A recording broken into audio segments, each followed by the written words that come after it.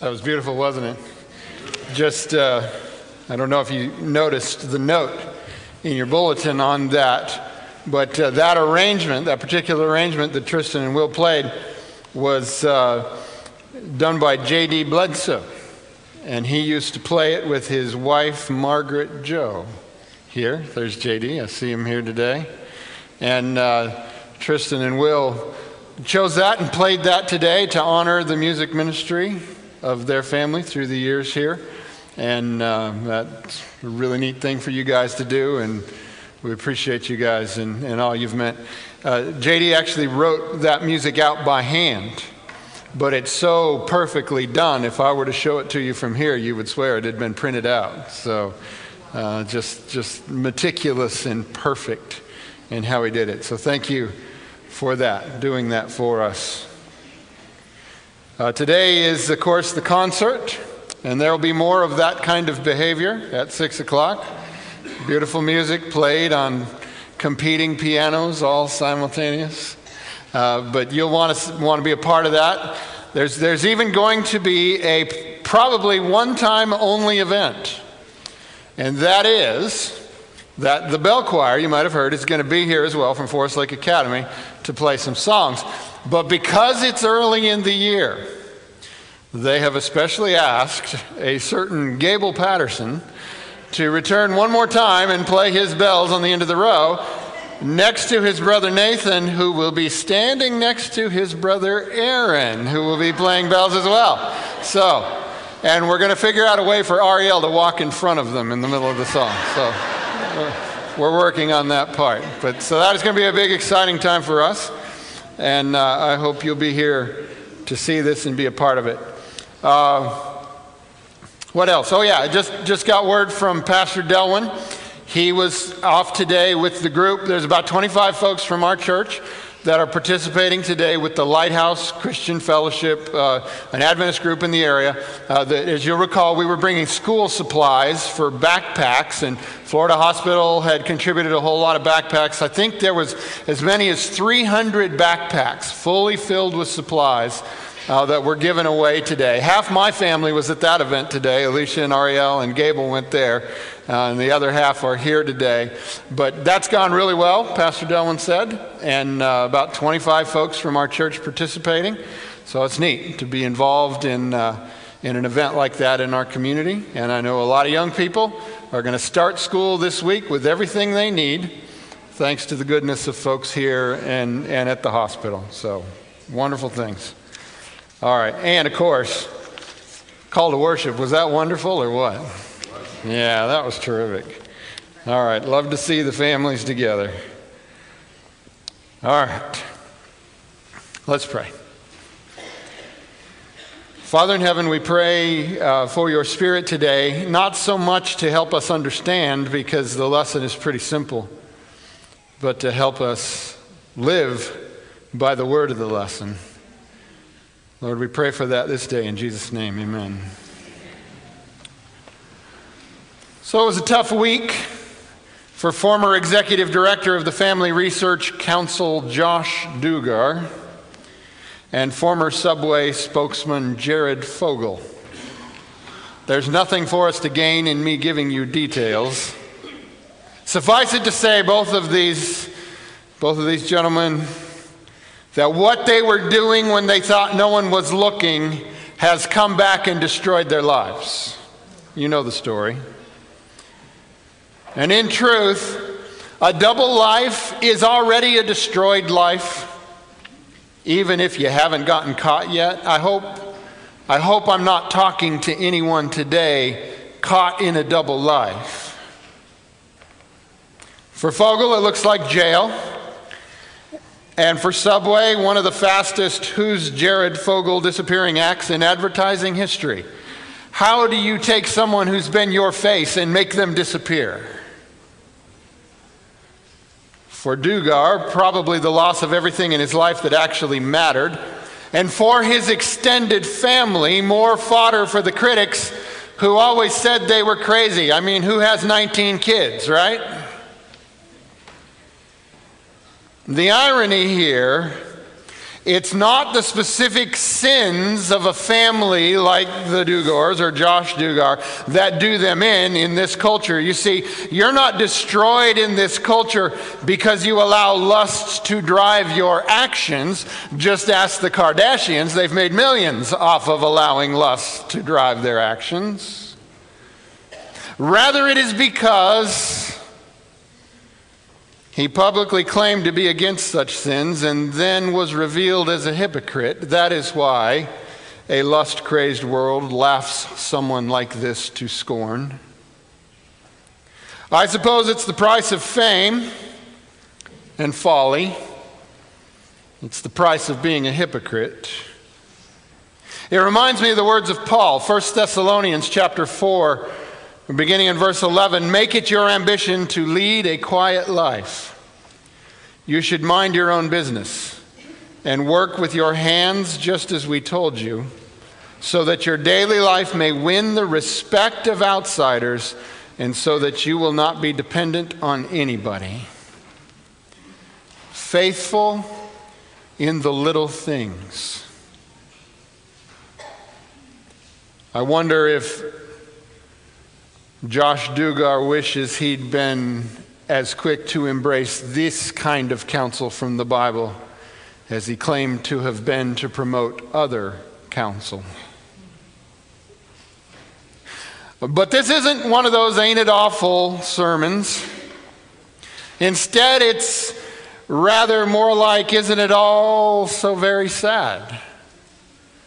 What a waste. And what misery a man or a woman living a double life causes for themselves and for everyone around them. I hope I'm not talking directly right now to anyone in this room. I hope there isn't anyone here living a double life. But if you are, I have a message for you, a message that both Jared Fogle and Josh Duggar found out to be all too true. And what is that message? The end is certain. Be sure, one day your sin will find you out. Yet I don't actually want to spend the whole day dwelling on negative stories. There's plenty of those for sure. I just took two from the last week. Rather, today I want to paint a picture of what could be, who you could be if you could ever come to know who you are in Jesus. This is the second week of our fall series entitled The End is Certain. We're spending our time in the book of Daniel. And in the book of Daniel, we read these words, chapter 1, verse 1. In the third year of the reign of Jehoiakim, king of Judah, Nebuchadnezzar, king of Babylon, came to Jerusalem and besieged it. And the Lord delivered Jehoiakim, king of Judah, into his hand, along with some of the articles from the temple of God. These he carried off to the temple of his God in Babylonia and put in the treasure house of his God. Now, along with the treasures from the temple, Nebuchadnezzar also took the greatest treasures of the land, its very best people, and carried them away into exile. We set up this context of Daniel's life and reality last Sabbath Uh, the story of how Daniel ended up in Babylon in the first place. And we talked a little bit about how Daniel's younger years in Jerusalem were not easy years. It was a hard time.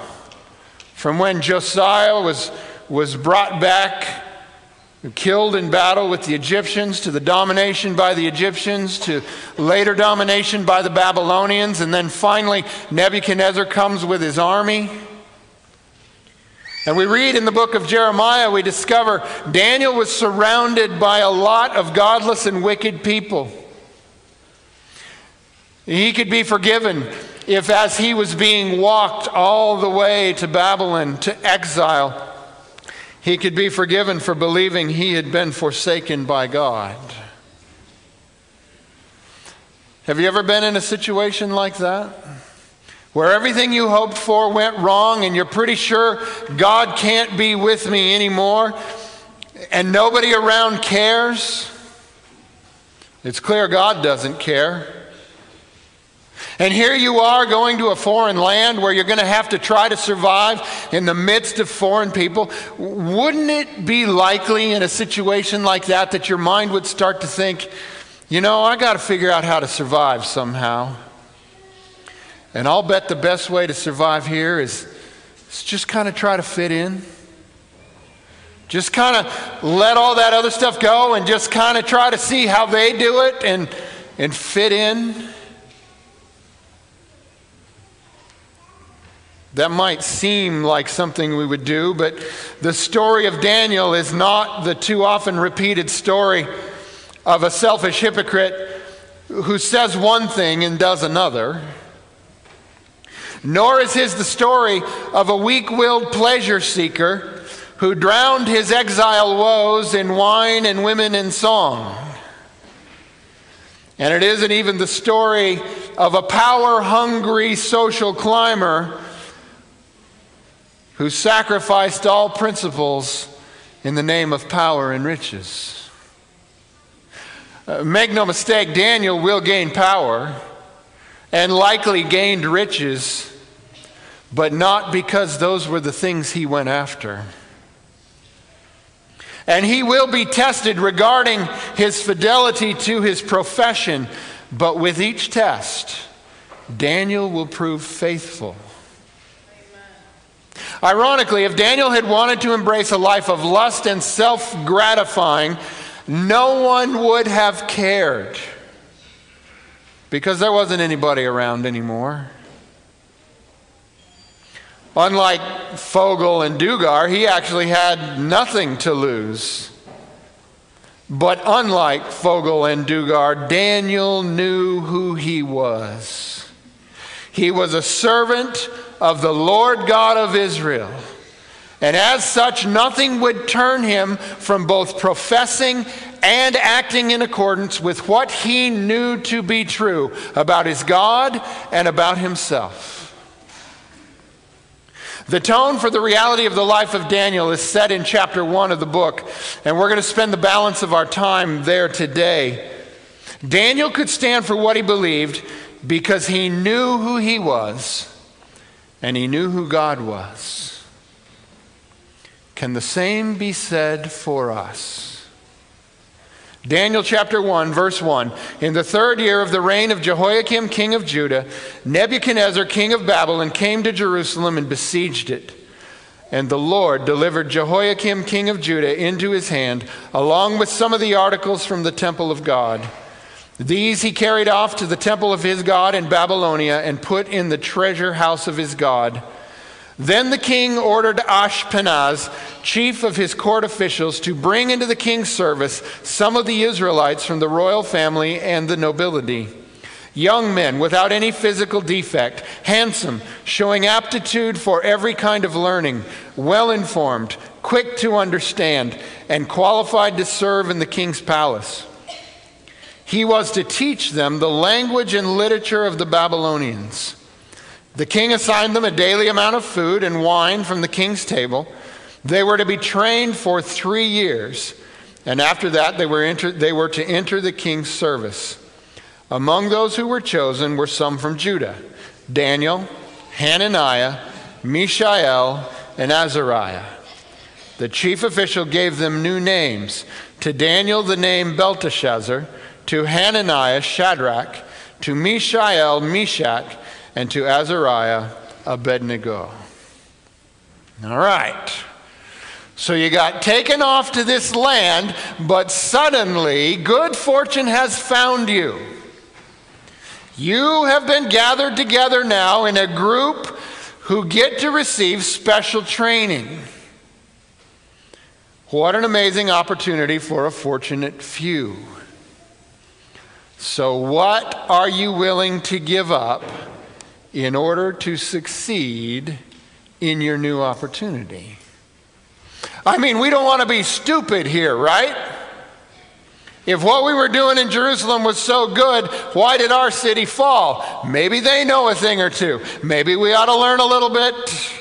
about how they do things. And, and besides that, if we stand up for all those quaint traditions, you know, the one that sticks his head up, that's the one who gets his head cut off, right? Let's just try to fit in. Let's just try to make this work. What will you give up for a chance like this? Well, if you're Daniel, not much at all. Verse 8 But Daniel resolved not to defile himself with the royal food and wine, and he asked the chief official for permission not to defile himself this way. So, what's the issue here? We've often come at this from a few different angles, and, I, and, there's validity in all of them. One of the ones is we've, we've come at it from the temperance angle. You can't think your best if you're eating the richest foods and you're drinking the wine of the king, and there's, there's no way you could prosper in that route. So, so Daniel said no because it would be intemperate. Well, that's true. But is it enough? There's the kosher angle. Daniel was raised as as a true Israelite. And, and because of that, there were certain rules that God had given as to what could be eaten and what couldn't be eaten. And, and there was probably shellfish on that table and probably, probably pork on that table. Okay, true. But you know, you can pick and choose, right? You could still go to the table and take a little bit of this and a little bit of that and just leave those other things. You know, you do it at potlucks, right? You understand that. Both of those are legitimate. And I believe both of those are factors. However, I believe the biggest reason that Daniel takes this stand is really not found in those two explanations, but rather in that, in those days, when food was prepared, and particularly when meat foods were prepared, the animals weren't just killed, they were sacrificed to the gods. And Daniel's problem is he refuses to do anything that would give glory to any God except the God of Israel. When you know who you are and whose you are, you can stand up to anything. I had, I had kind of a Daniel like moment in my life once. It was just once. But it's still pretty neat, and I've probably kind of told you this story before, but, but I'll just reference it again. It happened back before I was a pastor when I was a chemical engineer, and I was, I was working in a plant uh, in Tampa. And when I first came to work there, they told me that they wanted me to be a, what they called a shift supervisor, which, which implies you're going to work a rotating schedule. And so I told them before I came, when I was interviewing and all that, I said, okay, but, but I, can't, I can't work on Friday night or, or on Sabbath. I can't do that. And that would seem a little strange, but, but they said, well, I, I think we can make that work out. And, and, and so they went ahead and hired me, and I spent, I spent about six months training and, and learning different things. And the, the time finally came for them to put me on shifts. And so I went to them and I said, okay, you remember when you hired me that you said I wouldn't have to work on Friday nights or Saturdays? Well, you know, they didn't really remember that, turns out. And I guess maybe they thought after I got into the swing of things, we'd just kind of, you know, keep your head down, right? Just do the work. But I said, no, I, I don't think I can do that. I'm not going to do that. And, and, and the result of this was I got the only audience I ever got with the plant manager. It was a big plant, and a lot of people worked there, and you just didn't even see the plant manager. He, he was always up in the office, and we were always out there in the plant. But anyway, I got my one chance to meet with him. He was, he was a very secular Dutch person. And I think he thought when I came into his office that I'd just kind of be overwhelmed by it all and I would let this stupid idea go. And, and so I did. I walked very timidly into his office and, And he basically said, What are you, stupid? And I said, Well, maybe, but uh, I'm not going to do that. And it was kind of funny because up until that moment, he had all this power in this discussion. But then at the moment I said, No, I'm not going to do that, then it was him who was kind of stammering for a little while. And he finally dismissed me, and I went on my way. And, and miraculously, they made arrangements that I was able to work and not have to work on Sabbath. Now, I wish I could tell you that I was always a great Daniel type in that way, but the truth is, the next place I worked, for a far less demand, I didn't stick to my principles. Daniel 1, verse 9. Now, God had caused the official to show favor and compassion to Daniel. But the official told Daniel, I'm afraid of my lord the king, who has assigned your food and drink. Why should he see you looking worse than the other young men your age? The king would then have my head because of you. Daniel then said to the guard, whom the chief official had appointed over Daniel, Hananiah, Mishael, and Azariah, Please test your servants for 10 days. Give us nothing but vegetables to eat and water to drink. Then compare our appearance with that of the young men who eat the royal food, and treat your servants in accordance with what you see. So he agreed to this and tested them for 10 days. Now, I want to point something out here. The official is testing them, but in truth, Daniel and his friends are testing the Lord. And what I want to tell you is this there are right ways to put the Lord to the test. And there are wrong ways to put the Lord to the test. Grumbling and complaining and saying, Lord, why is it always harder for me?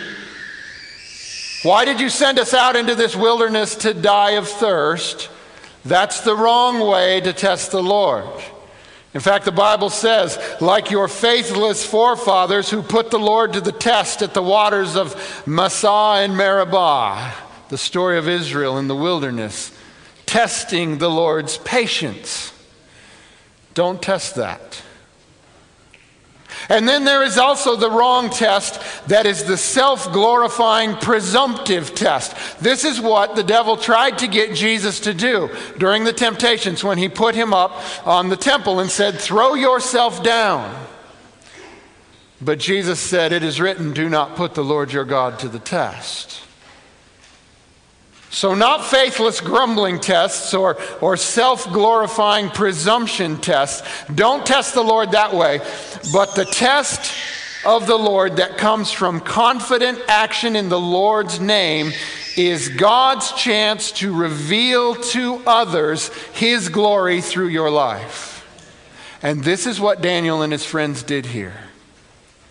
Give us 10 days. 10 days, okay, it can make a bit of a difference in your health, but is it going to make a huge, noticeable difference? Well, it will if the Lord's blessing is on it. And so they said, Lord, if you want us to remain faithful, then honor what we're doing and make it obvious that you are with us. Shadrach, Meshach, and Abednego will get an even more intense opportunity to have their faith in the Lord tested. Verse 15 At the end of the 10 days, they looked healthier and better nourished than any of the young men who ate the royal food. So the guard took away their choice food and the wine they were to drink and gave them vegetables instead. A short time with the blessing of the Lord can make a huge difference. So let me ask you this at this point. What could you commit yourself to for 10 days, giving God the chance to, in a short time, make a huge difference in your life? Diet, I mean, that's the story we're talking about here. If you were to drop the junk and eat well for 10 days, asking the Lord's blessing, that could change your life. Your marriage? 10 days where you quit fighting for your rights in your way asking for the Lord's blessing and instead show love and compassion, that could change the rest of your life.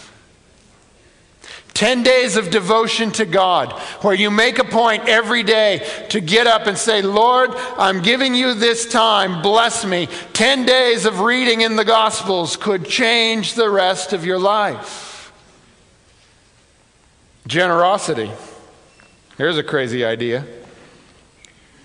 Donate what you would earn in two weeks' worth of work, that's 10 days, right? To some charitable cause and spend every minute you're working those weeks thinking about how what you're doing will go to bless someone else. That could change how you view work, couldn't it? That could change your life. What might God do with the rest of your life if you test Him for 10 days somehow? Here's what God gave Daniel and his friends after the 10 days. To these four young men, God gave knowledge and understanding of all kinds of literature and learning. And Daniel could understand visions and dreams of all kinds. At the end of the time set by the king to bring them into his service, the chief official presented them to Nebuchadnezzar. The king talked with them, and he found none equal to Daniel, Hananiah, Mishael, and Azariah, so they entered the king's service. In every matter of wisdom and understanding about which the king questioned them, he found them ten times. Ten days, ten times. How neat is that? He found them ten times better than all the magicians and enchanters in his whole kingdom. And Daniel remained there until the first year of King Cyrus. Now, not every follower of God is assigned the same path in life. You know that, right? Daniel had his assignment. Jeremiah had his assignment. Ezekiel had his assignment. We all have our assignment. Not all of us are called to the same path, yet we are each called to glorify God in our own special way. But living out our days in faithfulness and in the favor of the Lord, that's an opportunity we all get. And when we are faithful, God allows and enables sometimes even the fruits of our sorrows to become the blessings of others. I had a most interesting thing happen this last week. Wednesday, someone came by my office. She came in and sat down, and we started to talk, and she said, Pastor, I've, I've been going through a really hard time. About a year ago, the place where I was working closed down, and I lost my job. And I've been struggling for about a year to try to find another job, and I've, I've completely come to the end of my resources. I had to give up my apartment several weeks ago. I've been staying with someone, but I can't do that any longer beyond this weekend. Now, there is something for me. I have a friend who has invited me to come to the town where they live and stay with her, but I don't even have enough money to get there. Is there anybody that can help? And I said, Well, let me see what I can do. I'll call you back later today or, or maybe tomorrow morning. Maybe, maybe there's something that can work out. So, so I made a point and I, I was going to talk with Pastor Roger because when it comes to members and issues like that, he's, he's involved in that process as our church administrator. And, and so I, I had heard him talking in his office. You know, our offices are right next to each other. So I got up to go into his office and he wasn't there. So I, I, went back and got busy doing other things, and I heard him again working in there, and I had a minute, so I got up and I went, and he was gone again. So elusive for being such a big fella, but I, I couldn't find him. And so I thought, well, I'll just go talk to Joyce because she's always involved too. She handles these kinds of things. And I walked down the hall, and not even Joyce is there. Well, by now it's time to start picking up kids and all those things. And I thought, well, I'll just have to deal with this tomorrow morning. But then, you know how tomorrow morning is. It gets filled up, and, and I was busy doing things. And, And in the middle of that morning, a young man had called me the day before and said, I want to stop by and talk. And, and he came by, and this is a young man. He's about 18 years old. We've talked a few times before. He's been through some hard times. Lost his father earlier this year. It's very hard for a young man. And he came in, and we talked, and we had a good time. We talked for about an hour, and we got to the end of it, and he said, I've been wanting to volunteer and do some things. And I said, Well, let me, let me write your number down here, uh, and, and I'll ask a couple people, and, uh, and we'll see if we can find something for you to do.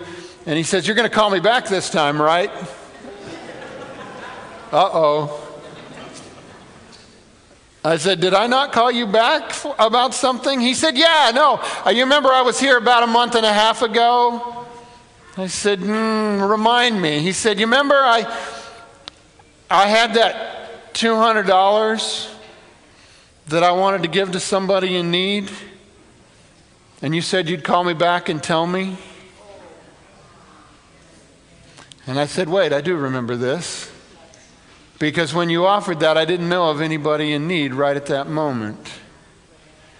And I said, But interesting, you should bring that up. You see, this money was from money he had received as a result of his father's passing. But he had felt very strongly that he wanted to give a portion of it to someone in need. And nothing had worked out. He'd come up with some other ideas, but nothing had worked out. You ever heard of anybody who can't get rid of $200? I said, Yeah, I know something we can do with that. And uh, he said, Well, let's see, I'll have to figure out how to get it to you. And then he got a funny look on his face and he said, No, I don't. I have it right here. He said, I put it in my wallet about a week and a half ago and forgot I had it. So he took it out and handed it to me.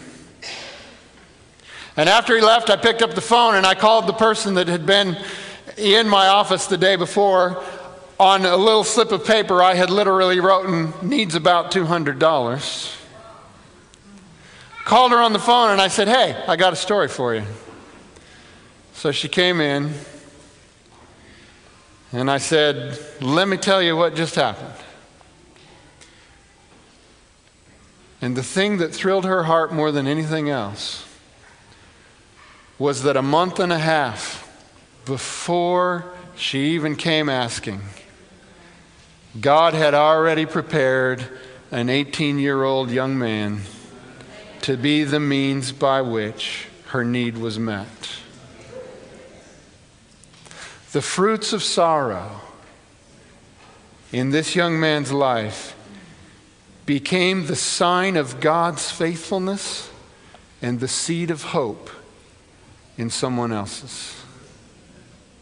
Faithfulness through simple things is the road to accomplishing mighty works for God. I love this. It's from Patriarchs and uh, Prophets and Kings. It says, God brought Daniel and his associates into connection with the great men of Babylon, that in the midst of a nation of idolaters they might represent his character. How did they become fitted for a position of so great trust and honor? It was faithfulness in little things that gave complexion to their whole life. They honored God in the smallest duties as well as in the larger responsibilities. Now, I got that book down off my shelf and I took it down and I was reading that section, and it suddenly struck me as I was doing that. There's an example of this in the very book I'm reading. I took this picture uh, of the book there the quote's right there in the middle. You see all those underlined marks in there? It's my book now, but I didn't make those marks. You know who made those marks? My grandfather made those marks. My grandfather, who was faithful in the little things. My grandfather was a pastor. My dad was a pastor after him. I'm a pastor after my dad. It was the faithfulness that started in his generation that was passed on through the generations. And I was blessed to see that his eyes had fallen on the same page I was reading, and his heart had been stirred by the same words. He's the one who used to do teachings from the book of Daniel with these graphics that you see up here. This was PowerPoint back in his day. And if you see zoomed in on there, it's hard to see if you're in the back, but you can see his handwritten notes on these. The faithfulness of my grandfather in the little things. 1 John chapter 2 verse 15 Do not love the world or anything in the world. If anyone loves the world, love for the Father is not in them.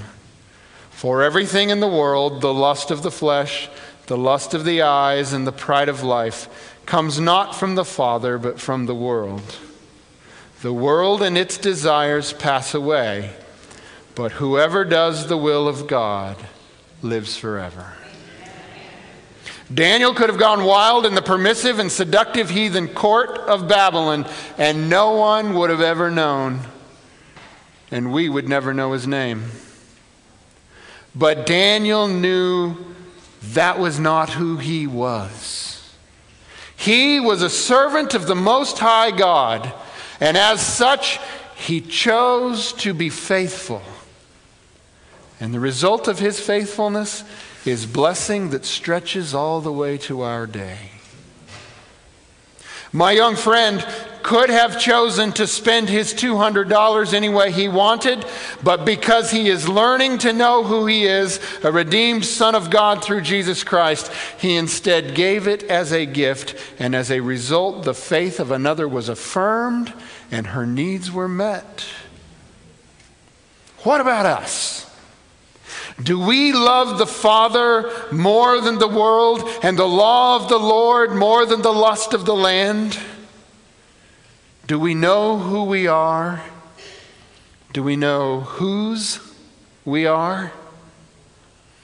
If we don't, we will be overcome by this world of lusts and passions, just like Jared Fogle and Josh Duggar were overcome to their destruction. But if we do know who we are and to whom we belong and for whom we live, if it truly is Jesus in the center of the frame of our lives, then we too can be Daniels in our day, faithfully living for Jesus anywhere that God places us. Let's pray. Father in heaven, Help us to know that we are yours. You have claimed us by the blood of Jesus Christ. And with that knowledge, Lord, help us to have a heart to live for you.